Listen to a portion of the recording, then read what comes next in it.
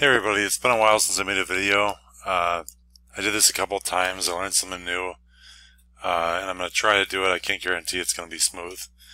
Uh, I had a problem with my microphone, so what you didn't see was I right-clicked, Groups, New Machine Group Lathe, and up came a menu, and all I had to do in there was give it a new stock setup dialog, and I gave it uh, the stock diameter 40 millimeter, the length uh, of 0.51. The reason why the length was important is because uh, that helps my stock transfer work out.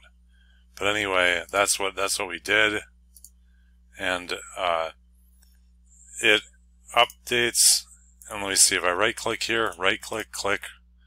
Uh, I can then say uh, GP cap and go ahead and right click on this part, make sure in the levels manager I'm on the right level, and then go ahead and wireframe, I'll create a turn profile.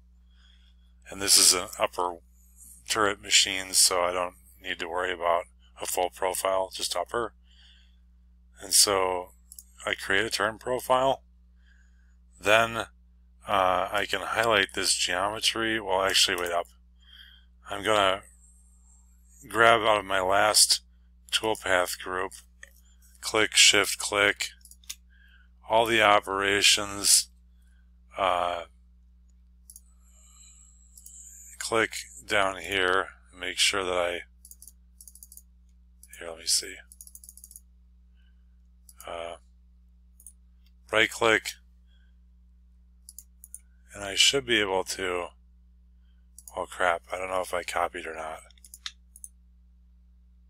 So click, shift, click, copy, click down here, right click, paste.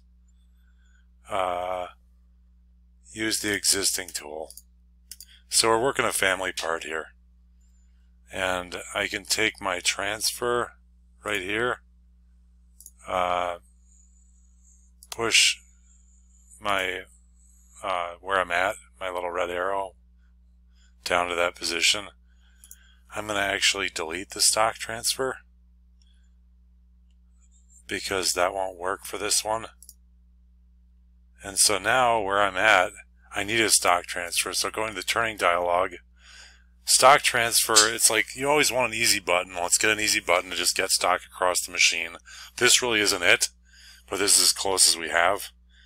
Uh, I don't know why this stuff is as hard as it still is, but uh, they're working on like Sandvik Prime Turning or some other uh, stupid, you know, technology product that has nothing to do with making you efficient.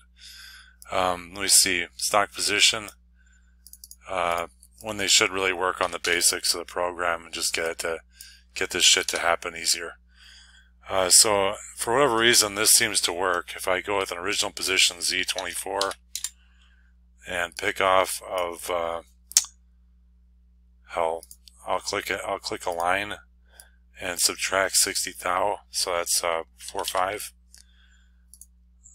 my main spindle position give this a negative 2.0 negative 2.0 and so I'm telling it hey the main spindle never moved. Uh, the sub spindle came from somewhere else. It picked off here.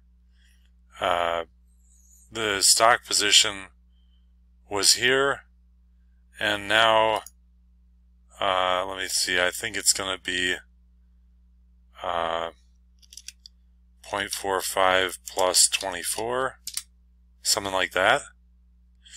Ooh that doesn't seem right. You know I don't know I don't know what the rhyme or reason for this is yet. Um,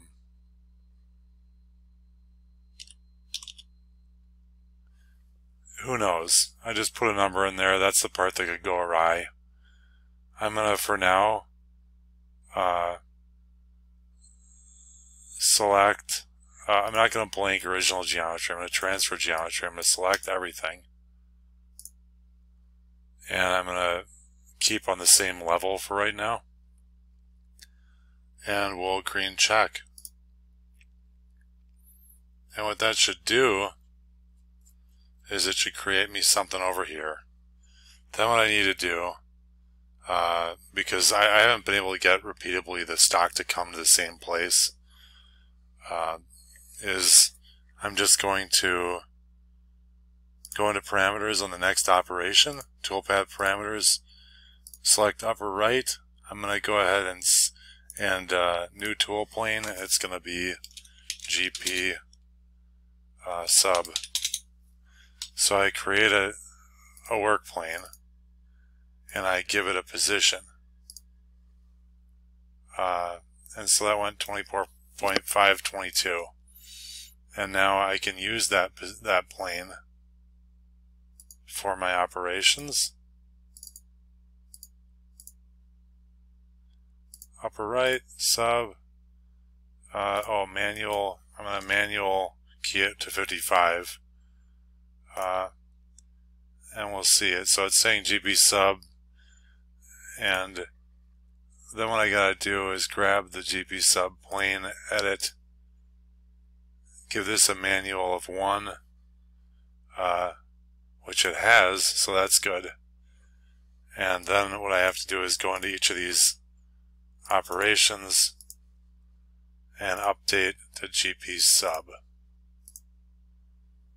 or what will happen is I'll be cutting relative to a plane that isn't where my part is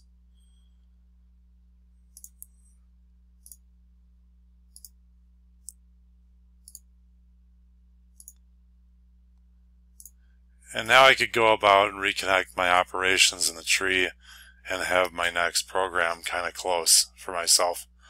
But that's the video. Uh, I really would like it if uh, uh, this was greatly simplified, bringing in a part. It should just be, hey, it should prompt you. You're, oh, you're bringing a new part into lathe? Yes. Uh, what? Click a diameter for me. Click. Then click uh, green green check click a face for me, click, and it should orient your part. And then it should be, uh, I want to work on G55. Uh, I want to work on the sub. Click a button and bam, your shit should go over there. Uh, or it should prompt you which, click a face relative to G55Z0. And you click this face, bang, and it goes across. And, uh, we could do in seconds what we're doing in, in minutes and what's kind of confusing at this point, especially for people who aren't in the software every day or who are learning it. Anyway, hope this helps. Catch you later. Bye.